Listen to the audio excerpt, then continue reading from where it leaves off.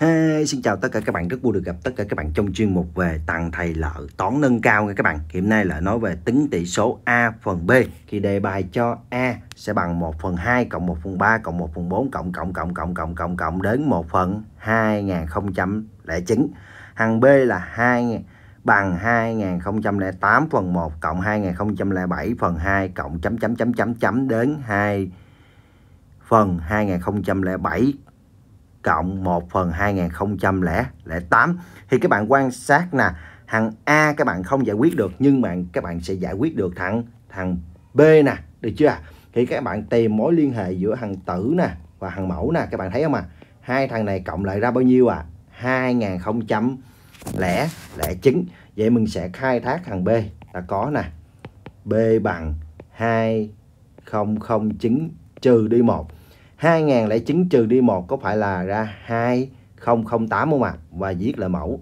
2007 có phải là 2009 trừ đi 2. Đó, lấy tử trừ đi mẫu sẽ bằng bằng tử và viết là mẫu. Tương tự như vậy sẽ ra là 2009 trừ đi 2007 phần 2007 cộng cho cộng cho 2009 trừ 2008 phần 2008.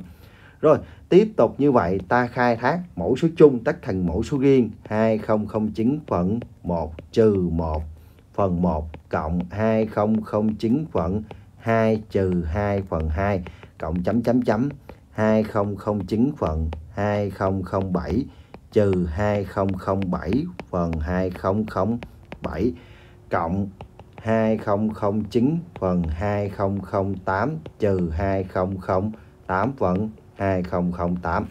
Và các bạn quan sát nè, đây là trừ 1 nè, đây là trừ 1 nè, đây là trừ 1 nè và đây là trừ 1.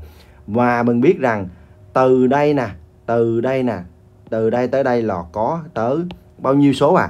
2008 số. Vậy ở đây mình sẽ bằng nè, bằng 2009 phần 2 đây, trừ 1 trừ 1 trừ 1 trừ 1 trừ 1 nhân 2008 bởi vì có tới 2008 số lần. Được chưa? Và cộng, đây viết lại nè. Và đây viết lại, đây viết lại. Vậy mình sẽ có 2009 phần 2 cộng 2009 phần 3 cộng chấm chấm chấm. 2009 phần 2007 cộng 2009 phần 2008 và các bạn, ở đây là một nha, các bạn xin lỗi. Rồi, và các bạn nhìn kỹ đi ạ. À đây trừ đây ra bao nhiêu à đây trừ đây ra có phải là một không ạ? À? đó, một. Và cộng nè, những cái thằng này có chung gì à chung 2009 mang ra. Đặt làm nhân tử chung, mang ra mang ra mang ra mang ra. Vậy chân tử còn 1 phần 2 cộng 1 phần 3 cộng chấm chấm chấm chấm đến 1 phần 2008 và số 1 này lợi sẽ viết dưới dạng là 2009 phần 2009 được không ạ? À? Được không ạ? À? Được nha các bạn. Vậy cộng 2009 1 phần 2 cộng 1 phần 3 cộng chấm chấm chấm chấm cộng 1 phần 2008. Được chưa ạ? À? Rồi, vậy tiếp tục tiếp tục ta thấy hai thằng này có chung gì ạ? à? Hai thằng này có chung 200 200 chứng mang ra, đặt làm nhân để chung. Mang ra mang ra còn lại là gì ạ? À?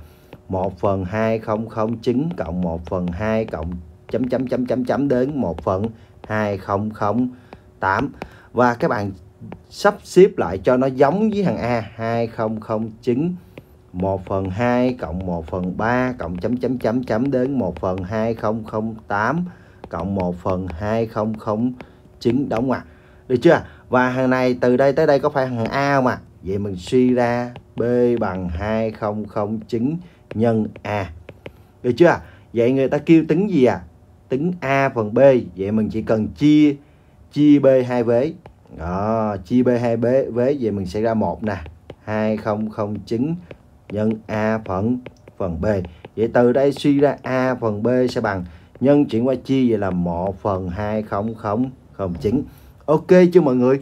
Rồi thôi xin chào và hẹn gặp lại tất cả các bạn trong quá trình hướng dẫn có chỗ nào bị sai, có chỗ nào bị thiếu các bạn cố gắng comment giúp lợi để là khắc phục những đoạn clip sau trở nên hay và ý nghĩa hơn. Rồi xin chào và hẹn gặp lại mọi người. Xin cảm ơn. Bye bye.